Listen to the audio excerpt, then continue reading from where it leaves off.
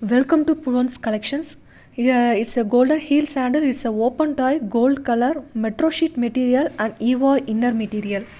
So this is not a waterproof. You don't use this in water. So the next slipper is woman pink and beige heels sandal, slingback, PVC sole material, heel high, and it is 3 inch block heel, embellished upper pattern. So this is also not a waterproof. The next one is it's a special wedding slipper, pink gold wedges sandal, wedges heel 3.5 inches, slip-on closure, transparent blink, embellished metallic and holographic in upper pa- Next one is a golden wedge sandal and it is a transparent material in the upper and it is embellished metallic and holographic in the upper pattern. Thanks for watching. Please subscribe my channel.